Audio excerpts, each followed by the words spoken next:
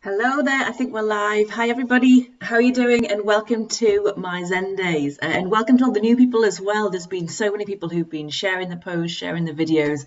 Um, so it's lovely to have you here. I'm Nicky, I'm Nicky Thackeray. I am a wellbeing mentor, a meditation teacher, and I'm founder of my Zendays, which is all about how to help us live a much calmer and happier life. So we teach all sorts of tools like mindset, meditation, um, mindfulness, really practical strategies that can help you to just live a much fuller, more fulfilled and happier and a calmer life. All the stuff that we really need right now as we're dealing with this crazy, crazy pandemic. So hi everyone, thank you so much for joining.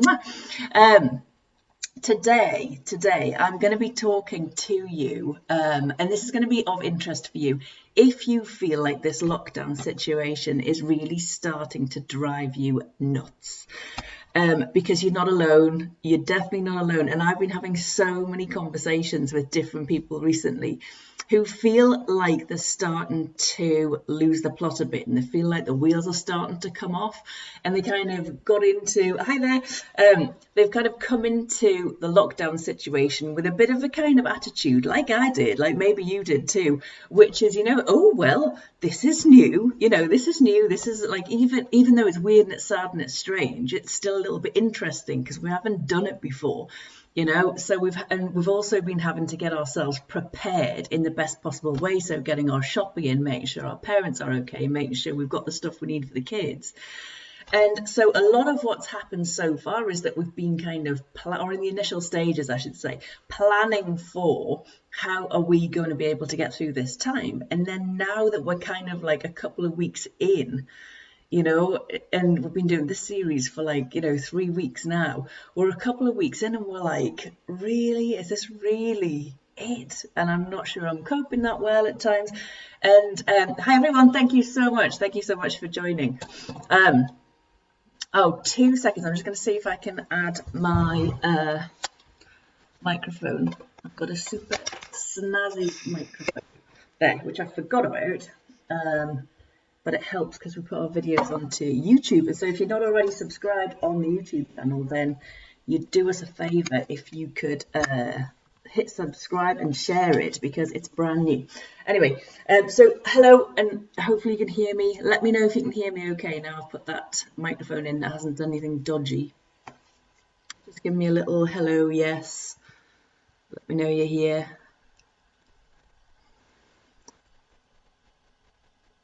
I've just noticed I look a little bit wild as well.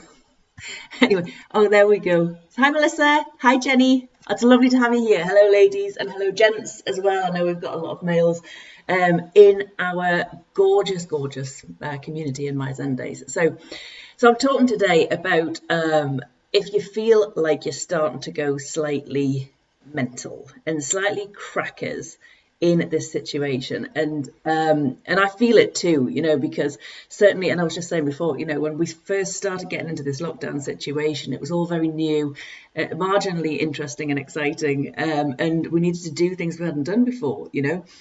And and then obviously as usual the reality starts to kick in and we're like actually this is not that great. Actually everyone's doing my head in. Actually i just want to Oh, sorry, Colin's just saying, make sure you've not tilted the mic. It hears from the front and not the top. Can you hear me okay? Let me know if you can hear me okay. I do not want to sit and talk to myself. That should be all right. Hi. Jen, just let me know if you can hear okay. Sorry for this, guys.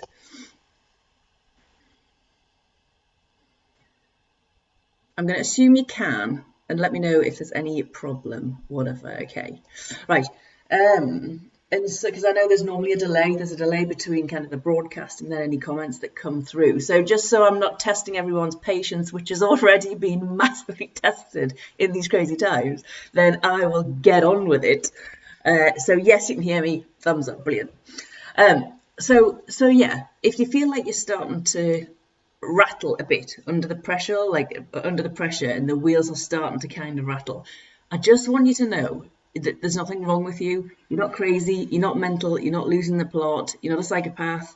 Um, it's it's it's okay and it's a totally natural normal human reaction to this crazy situation that we're finding ourselves in so i cannot even tell you and hopefully this will make you feel better the amount of conversations i've had with people who've said i can't sleep like i just can't fall asleep properly or i can't you know if i wake up in the night i can't get back to sleep or people saying i can't stop eating like um, i have had, you know, 235 meals so far today. Not me personally, and not today, but on, on, any other day, uh, you know, we're averaging around about 11 or 12 meals per day because you're just here, you know, and there's just food. Not, you know, we haven't stockpiled, but we've got food in the fridge, we've got food in the cupboards and you're kind of trying to entertain yourself as well and keep yourself going. So give me a hands up, give me a hands up um, if you you know if you're feeling this as well. And then the other thing that a lot of people have been saying is like I've been drinking loads as well, like loads of wine. I've kind of already got a punch on for G and T, and I've been just having more and more G and Ts.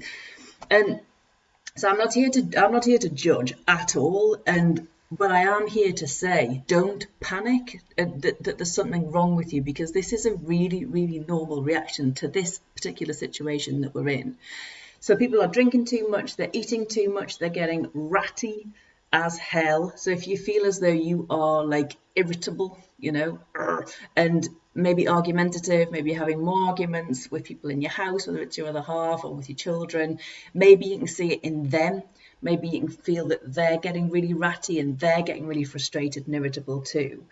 And and again, this is all normal, and I don't want you to. I don't want anyone sitting there going, "Oh God, we or I, you know, we in my house or, or just me is not dealing with this very well." Because you are, you really are dealing with this in the best way that anybody can.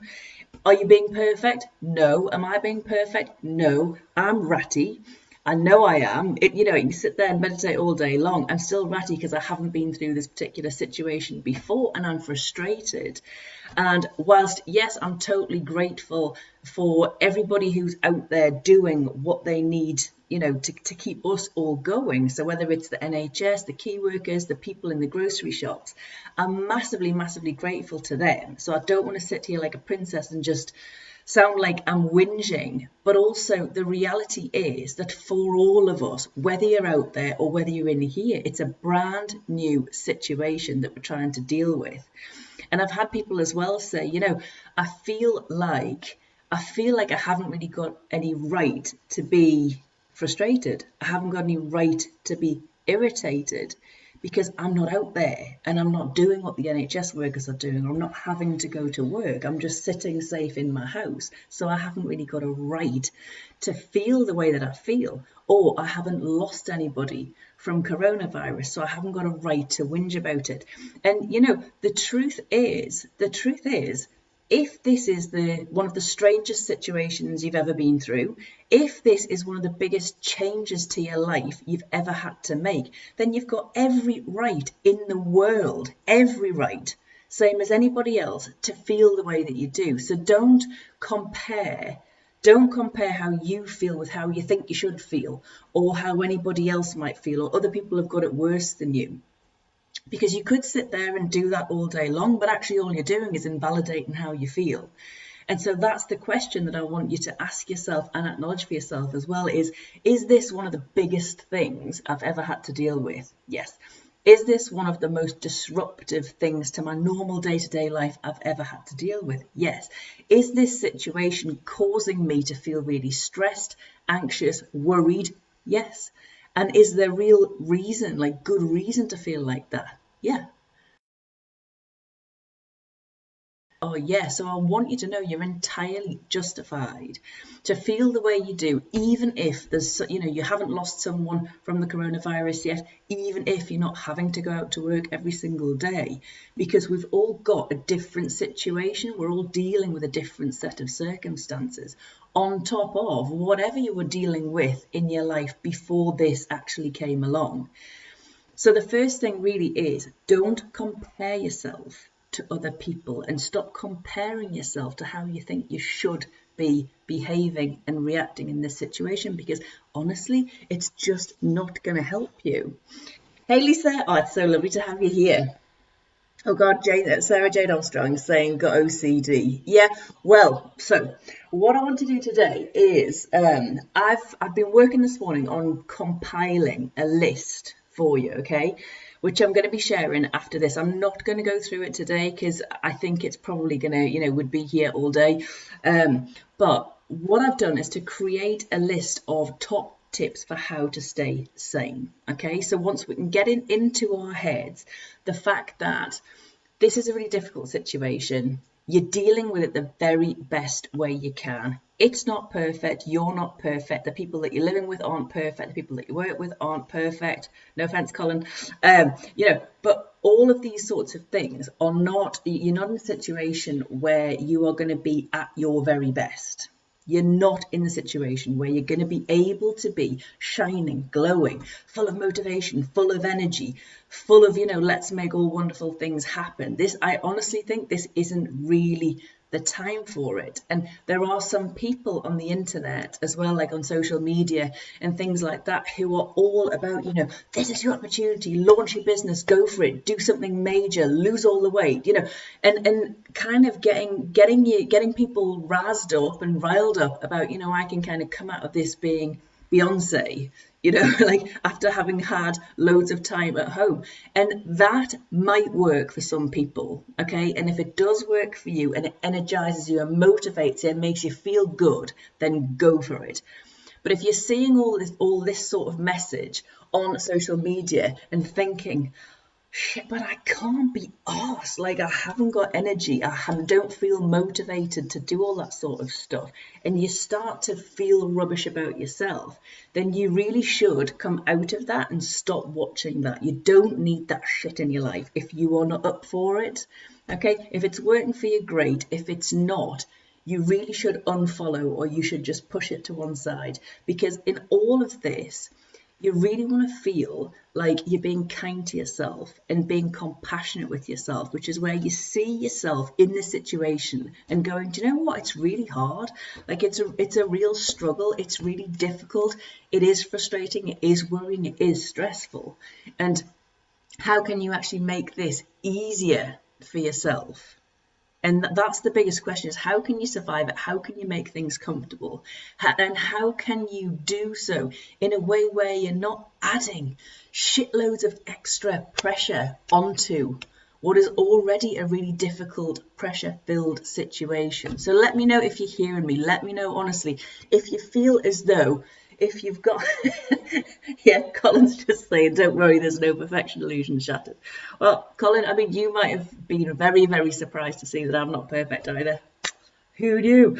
Um but this is this is the thing. So if you if you're feeling a bit rubbish if you're feeling like some of your habits are a bit uh, probably counterproductive so if you are looking for some sort of relief some sort of numbing, some sort of pleasure from overindulging on things like food, sleep, maybe, um, alcohol, you know, whatever kind of thing that you're into. If you're overindulging on those, just give yourself a break. Take take take a bit of a step back because you don't want to hurt yourself and you don't want to harm yourself.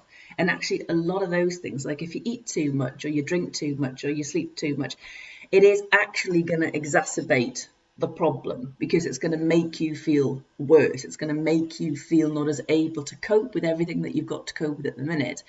But if you find if you're finding a little bit of pleasure or a little bit of relief or a little bit of comfort in those things, then don't be so hard on yourself. Really don't be hard on yourself.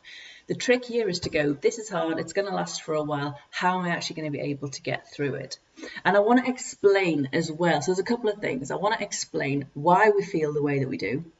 And also, I'm going to, like I said before, not go into the full depth of um, the tips, but I'm going to send them, I'm going to share them online um, after this live because what I've done is to create um, to, to create the top tips for how to stay sane, right? Which you're gonna want to look through because this is gonna keep your head right, especially if you feel like you're starting to wobble and have a bit of a shake, uh, have a bit of a funny situation, okay? Um, and the way that's broken down, you've got the basics. So what are the basic tips? This is all about nutrition, sleep, movement, breathing, um, and then you've got the watch outs. So the watch outs are be careful about what you're consuming in terms of what you're feeding your mind. All of that shit on social media, all that idiot Donald Trump. Sorry if anyone's a fan, but I am not. And I watched him the other night, and I was just wound up. I was really wound up because he didn't know what he was talking about. It was really frustrating. Um, and so you've got to be careful about what you're feeding your mind and what you're allowing into your mind. Tony Robbins always says you've got to stand guard. You've got to be the guard at the door of your mind. So, what are you allowing in there? You're a bit like a bouncer. You've got to think of yourself as a bouncer. Um, and the big door, what's behind there is your mind, and whoever you let in there, whatever you let in there, is going to have an impact, a massive impact potentially on how you feel and how you're able to cope with your days, how you're able to live with your days, the decisions that you make, the moods that you have. So you've got to really be careful about what you're feeding your mind, what you're feeding your body. So there's the basics on the tips, there's the watch outs, and then there's also the way forward. So this is we're all about at My Zendays, all about your mindset, all about adopting and practicing positive mindset, optimism, which is just the belief that you can affect a positive change on the situation that you're in and the outcome based on what you think and what you do. So, practicing positive mindset, practicing looking for good things. You've got to work doubly hard right now to look for the good things because there's so much bad. The danger's just living outside your front door, you know. So, you need to actually spend some proper time spend some proper time looking for look out for what is good. Like look at the generosity of people look at the goodness of people and the greatness of people who've really stepped up. Helpful neighbors volunteers for the nhs there's so much there's so much good if you look for it. There's so much good there. But you're not going to notice that in the first instance when you're feeling really stressed so, so watch out for the tips because they're coming and I'll send them. Um, I keep saying I'll send them. I'm not going to send them to anybody. I might send them to Colin, but uh, I'll post them on the My Zendays page, okay? Um, and I wanted to explain to you finally about why we're feeling the way that we're feeling um, at the minute. And I know I talk about this stuff all of the time because I genuinely think that you need to understand how your mind works and how your body works in times of stress so that you can then understand what you need to do to counteract that. Okay. So what's happening at the minute is that you are very much, and so am I, so everybody, and it's made worse because this is contagious. You know, anxiety and stress is contagious just as much as COVID freaking 19. Um, but basically, what's happening is that our stress response is uh, has been activated massively, um, and we're basically in this fight or flight mode. So you've got two modes, okay, in your nervous system. You've got your stress response, your fight or flight, which is like, oh shit, I'm in danger, something's trying to kill me, um, or I'm in a burning building, that kind of thing, and I've got to run away. And then the other mode is the relaxation response. So that's when you are, you know, metaphorically lying on a sun lounger with a cocktail in your hand and the sun on your body, feeling amazing, right? So you've got stress, stress, stress, and you've got relaxation response. And the idea, the plan, the way it's meant to work is that um, you live in your relaxation response. Okay, so this is where you live. You live nice and cool, feeling good, you know, with that cocktail in your hand, this kind of thing, and the sun on your face, and you feel good. Everything's working well. Your mind's not overactive. Your breathing's nice and long and deep. And that would be you living in your relaxation response, right? Happy days. And then what would happen is if suddenly, let's just say someone came and stole your cocktail, right, which would be very stressful, or there was a fire, or there was like a tiger, you know, as in the days of old, who was running after you and wanted to eat you because they were hungry, right? So what would happen there is you would very quickly come out of the relaxation response and you go into stress response. And so what happens in the stress response is that it releases this cocktail of chemicals into your body. So it floods with adrenaline and cortisol. And what that does is it's getting your body ready for fight or flight. Like you're either going to have to run as fast as you can so that you can save your own life, or you're going to have to stay and fight the tiger or the person who's trying to steal your cocktail, right? Let me know if you're with me. Um, and so, uh, so, so what happens there is that there's sort of a, a kind of process of different things that happen in your mind and in your body when you're in the stress response. So things like your pupils dilate so that you can see more of the danger that's around you. Okay, you get shots of energy to your muscles so you're ready to literally fight or run away. And key processes in your body just stop because any processes that are like automatic, like say like digestion, right, which is like working nicely when you're in the relaxation response, it just it just suddenly stops because it's not critical to your ability to run away or fight. Okay, so there's all you've got to understand. There's all these different things that are happening in your body as a, as a, as a consequence of the stress response that's been triggered in your mind. Okay. And so what happens is in the ideal situation, you've got you live in the relaxation response, something stressful happens, all of those processes happen in your body, you then deal with the danger, the stress response shuts down because you've either ran away or you've fought and done what you needed to do. But when the danger's gone, the relaxation response goes back into, you know, you go back into that mode. And, and the relaxation response then comes and recovers all the damage that all the adrenaline the cortisol did um, in your body and tells you that it's okay and your muscles can relax and it returns your breathing to normal, your blood pressure to normal, your heart rate to normal, and all that kind of thing. That's how this thing should work. The problem, though, is if you are in the situation that we are in, and the the thing that's the danger isn't just that it's come, you deal with it, and it's gone. This is a prolonged thing because this is taking us, it's taking a long time for us to be able to get through and cope with and get over this pandemic. So it requires more patience on our part, but it also means we need to understand that we're basically living in this constant state of fight or flight. And it's one thing, as I always say, it's one thing to understand that that's what's happening. It, and, and it's the next thing, the more important thing is that you learn how to calm that. You can calm yourself. You really can, and you can learn to calm your mind and you can learn to settle yourself. The biggest thing is with conscious breathing. The biggest thing is with conscious breathing because that's right under your control.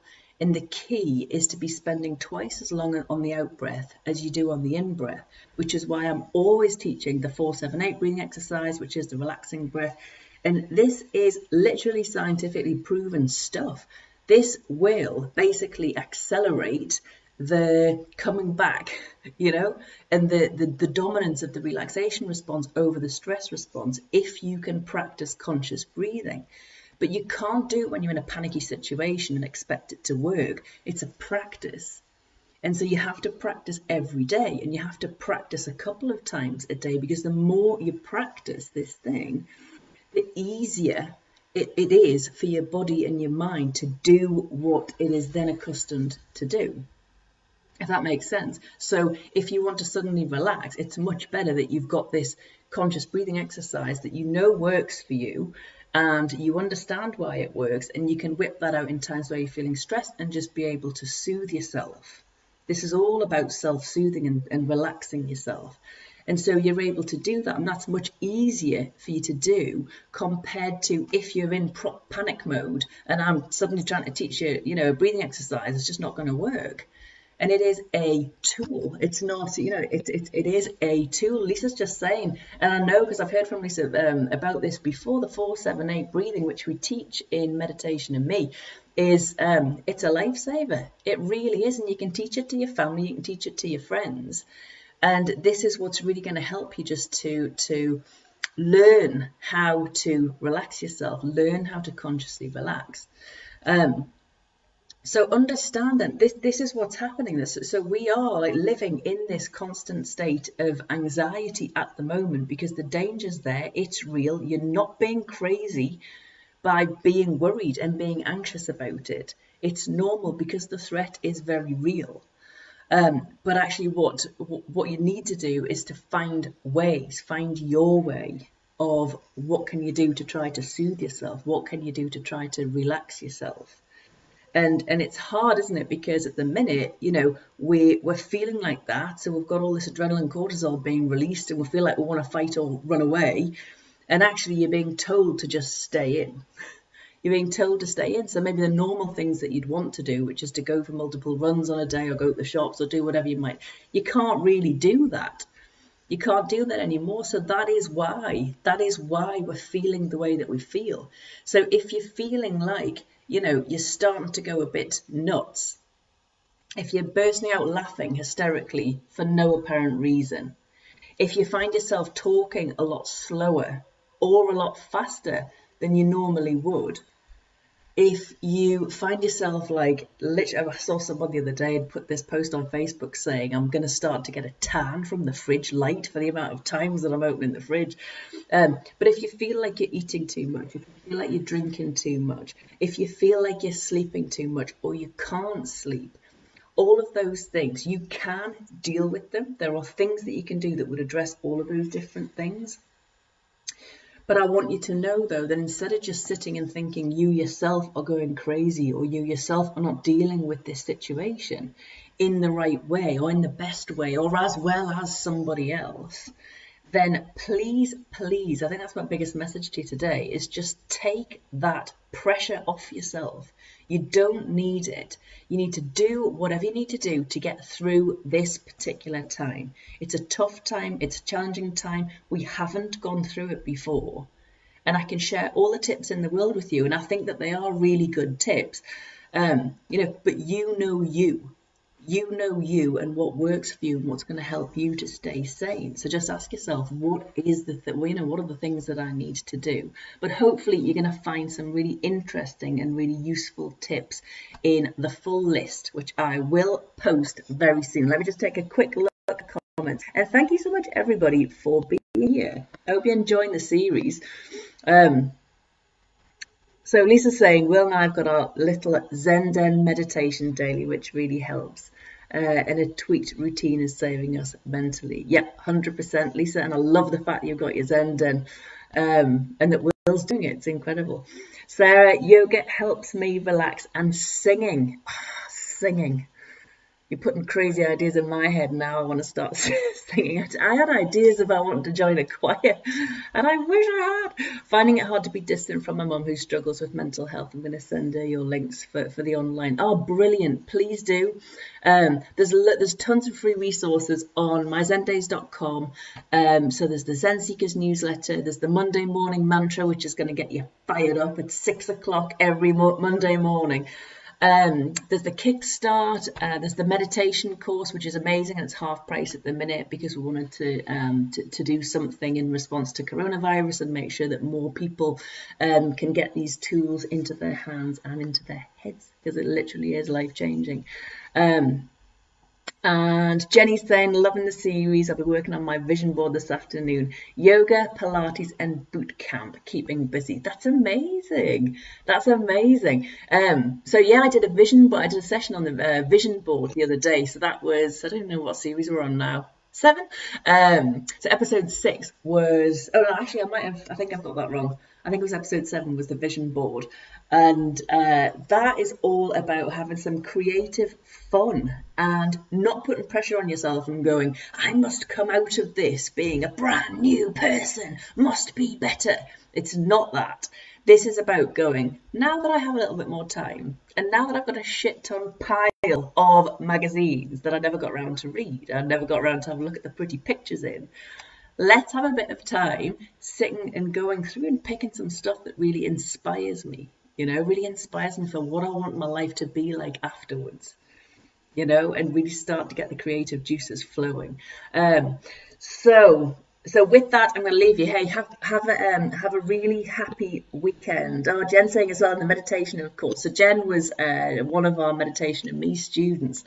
Um, and loved it and got loads out of it. And actually, loads of our meditation students have been in touch as well to say, thank God that I learned how to meditate when I did, as in before this, because it's made the world of difference. And there was someone last night got in touch with me as well, talking about the future self meditation and saying, she said, I'll never forget it. And it literally changed everything um, about the direction you know I was going in my life, uh, and, and it did for me too. You know, I absolutely love this stuff. It's incredible. Meditation, honestly, if you if you're looking for a way of really calming your nervous system and really having a life of much less stress and more confidence in yourself to just be you. Um, then that's definitely the course for you. So on, on that on that last plug, I'm going to let you go and have a nice rest of your Friday and I'm going to put my entire long list of 20 tips on to the page. So it's five five basics, five watch outs, and 10 ways to move forward. Um, so I really hope that they help. So I will look forward to seeing you. Um, well, Lisa, meditation has enabled me to cope and will. Yes, get in. Um, I love that. Okay, have a fabulous weekend and I will see you on Monday. Take care. Bye.